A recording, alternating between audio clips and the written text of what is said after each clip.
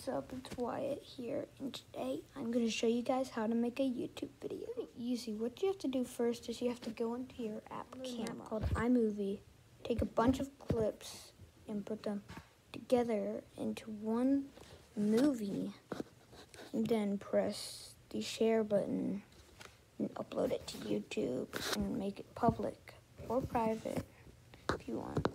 And then your own YouTube video. About this video, have you guys heard of TikTok? Sponsor of today's video. It's my TikTok account. Make sure to follow me.